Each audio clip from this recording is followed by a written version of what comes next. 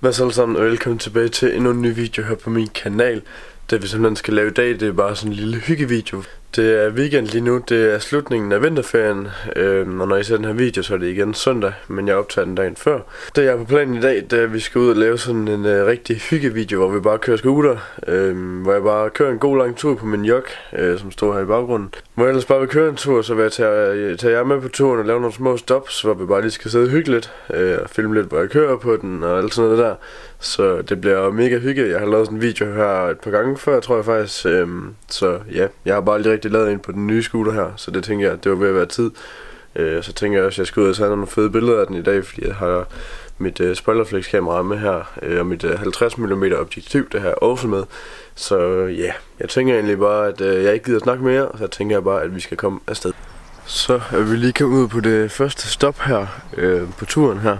Øh, og ja, det er egentlig bare et øh, sindssygt chillerende sted. Øh, det ligger bag Form Horsens, hvis nogen af jer ved, hvor, øh, hvor Frum Horsens den ligger. Øh, det er sådan en å her øh, med sindssygt meget strøm i. Og så kører der sådan en øh, bro henover herhen, og så ligger der en hus herovre bagved.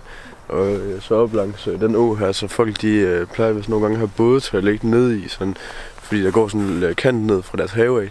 Så plejer de nogle gange at holde nogle både, øh, men det ser ikke ud til at holde nogen lige nu her. Øh, men ja, det står her med, med den lille Jonna Mus. Ah, måske lidt cringe. Men øh, ja, jeg står egentlig bare lige her og chiller lidt. Øh, jeg tror egentlig lige, at øh, der kommer et lille edit her af nogle øh, sindssygt fede og sprøde stemningsbilleder. Så øh, ja, er I klar til at se det? I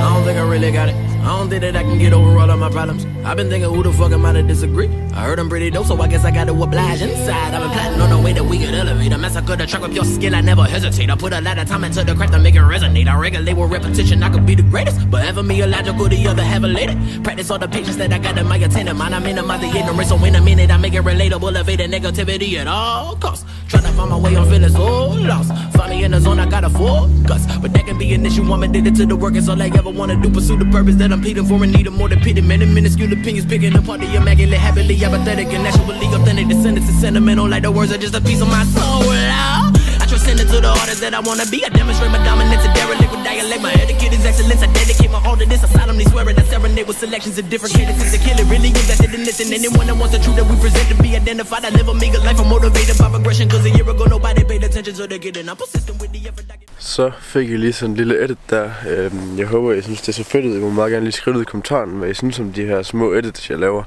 Øh, og om I meget gerne øh, vil se flere af dem. Øhm, det må I meget gerne lige skrive ned i kommentaren. Det kan være sygt fedt. Øhm, for jeg synes selv, at de er mega fede at lave. Jeg synes selv, det ser mega lækkert ud. Øhm, så øh, ja, det kunne være mega fedt, hvis I lige gad at skrive det nede i kommentaren. Hvis jeg ikke er særlig aktiv på min Snapchat lige for tiden, så er det simpelthen fordi, at øh, jeg render rundt med sådan en skødtelefon her. Øh, så er der nok nogle af jer, der tænker, Anders, hvorfor render rundt med sådan en skødtelefon? Det er simpelthen fordi, at øh, min iPhone 6S, den har jeg sendt til reparation. Jeg købte den i Elgiganten, øh, og der var problemer med batteriet, da jeg købte den for sådan en halvanden år siden. Øh, og så her for et par måneder siden, der gik jeg ned i Elganten, og så øh, fik de den sendt til reparation, fordi det var under garantien. Øh, men så øh, kunne de ikke lave det, og så sent, så, så var de sådan, fuck det, vi øh, giver det bare en helt ny. Så fik jeg en helt ny. Øh, så gik der et par måneder, og så batteriet der begyndte at sådan, øh, være sygt øh, lort igen. Altså det var sådan, det kunne ikke engang, det kunne ikke engang holde en halv dag. Det var sådan 3-4 timer eller sådan noget, og så var det helt død. Øh, og det er der sikkert også mange af jer derude, der har problemer med. Øh, og det er typisk Apple. Øh, deres batterier, det er bare noget værd lort. Men øh, nu har jeg været nede og fået den sendt til reparation igen. Sådan som ham nede Elgiganten, han fortalte det til os, så var det sådan, at Apple de godt selv ved, at øh, batterierne den er været lort, men at øh, man selv skal betale for at få det lavet. Og det var altså ham nede Elgiganten, der sagde det til mig. Eller til mig og min mor. Fordi min mor hun var lige med mig dernede. Øhm, og når vi så går hjem og undersøger det, så står der på Apples hjemmeside, at det er gratis at få det ombyttet. Øhm, fordi det er under garanti og sådan noget, der er sovs der. Øhm, så ham dernede elgen, han har bare stået og fyret alt muligt lort af til os. Han har sagt, at det kostede sådan 379 kroner eller sådan noget, for det øh, gjort igennem Elgen og sådan noget. Øhm, hvor han siger, at, at uh, Apple, de ved godt selv, at det er en fejl, men at man skal betale for det og alt muligt pis. Så øh, han sidder bare og fyrer alt muligt lort af, fordi at, øh, hvis man går ind og læser på Apples hjemmeside, så står der noget om, at, øh, at, hvad det hedder, at det er gratis at få det ombyttet. Så øh, ja, vi må se, hvad der sker. Øh, så det er simpelthen derfor, jeg ikke lige er så aktiv på min Snapchat lige for tiden. Øh, og det er utrolig nederen. Øh, jeg kan ikke engang, altså det eneste jeg kan på den her telefon, det er at skrive sms'er og ringe, fordi jeg kan ikke engang tjekke Facebook, Instagram eller Snapchat eller noget som helst. Så jeg har ikke lige min snap med rundt sådan, ja, når jeg går rundt sådan, så ja, det må lige øh, blive, når jeg kommer hjem. Øh, jeg tjekker Snapchat og Facebook og alt sådan noget lort der. Men øh, ja, jeg håber, I forstår mig, øh, for jeg kan ikke rigtig gøre noget ved det. Øh, men jeg skulle gerne få min uh, telefon tilbage her inden for en uge eller to. Øh, så ja, det ser jeg rigtig meget frem til. Men nu, der tænker jeg, at vi skal køre videre.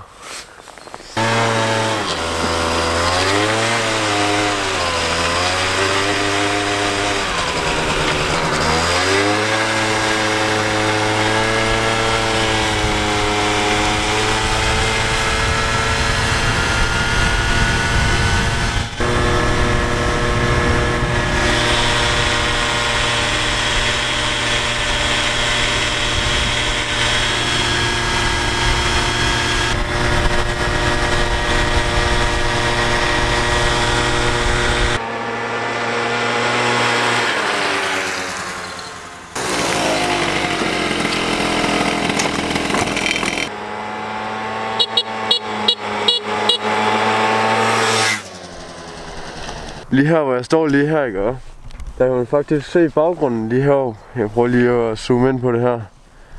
Kan man godt se det, ja. Det der, det er Horsens statsfængsel til jer, der skal være, eller til jer, der spørger. Øhm, og ja, det er simpelthen blevet lavet om til et øh, museum nu her, så det er ikke noget fængsel mere, men der har siddet rigtig mange øh, fanger derinde. Og der er faktisk en historie om en, øh, en uh, kendt fange, der har siddet derinde, som hedder Lorentzen til efternavn. Jeg kan ikke lige huske hans fornavn. Jeg tror, det er Christian. Jeg ved sgu ikke helt Christian Lorentzen. Det er i hvert fald Lorentzen. Øhm, og fra hans cellag, der gravede han en tunnel under hele fængslet. Og ud til sådan et øh, madkøkken, tror jeg det var. Øh, I hvert fald ud til et eller andet sted, hvor det var, at han gravede det med en fucking ske. Øh, hvor han, øh, når de var på gårdtur og sådan noget, så transporterede han det ud i hans strømper og lommer og sådan noget der. Alt det der, han havde gravet væk. Øh, det er sindssygt vildt at tænke på. Jeg har faktisk været inde og se der, hvor, øh, hvor det var, han kom op fra hullet af. For den der tunnel, han har gravet under fængslet. Øh, så ja, det var lige en lille fun fact her. Øh, og så kan vi lige se Form Horsens, der ligger der. Øh, I kan lige se de der arme der, der stikker op. Det er for selve stadion, og der skal lys på stadion, når de spiller fodbold.